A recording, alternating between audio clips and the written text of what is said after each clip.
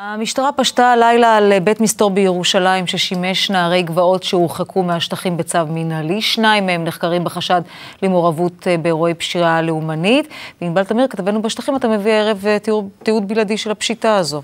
כן, גאולה, זו פשיטה הלילה לפנות בוקר בשכונת קריית משה בירושלים, דירת מסתור שבה היו מספר רב של נערי גבעות, פעילי ימין, שהורחקו כאמור מהשטחים בצו מנהלי. ניתן לראות כאן את התיעוד שהגיע אלינו מהפשיטה הזו, חוקרים של המשטרה ושל השב"כ בדירה, גם הופכים את הדירה, עורכים שם חיפוש מקיף, פותחים את כל המגירות, כמובן כל הדירה, וגם בשלב מאוחר יותר, שבעה פעילים נעצרו בחשד להפרת הצו המנהלי. צריך להגיד, חלק מהמגבלות בצו זה שאסור להם להיפגש אחד עם השני, ולכן עצם השהות שלהם שם בדירת המסתור הזו מהווה הפרה של הצו. פשיטה אחרונה דומה כזאת ראינו ב-2011, גם אז דירת מסתור של מורחקים.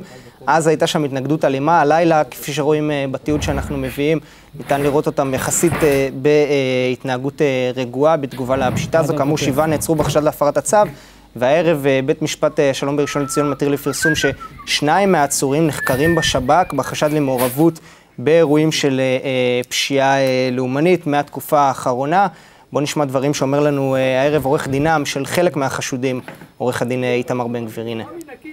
חושב שיש גבול וצריך להפסיק את ההתעמרות של השב"כ והמשטרה בנערי הגבעות, מתנכלים אליהם, פושטים אליהם באישון לילה, מאשימים אותם בחשדות, מחשדות שונות, ובסופו של דבר בהרבה מאוד מקרים מתגלה כעורבא פרח. ההתנהגות הזאת, ההתעמרות הזאת, ההתנכלות הזאת, רק גורמת לתסכול קשה.